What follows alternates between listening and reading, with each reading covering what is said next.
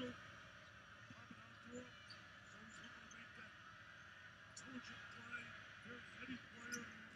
is the three. And McAdoo, the uncontested rebound. How many times?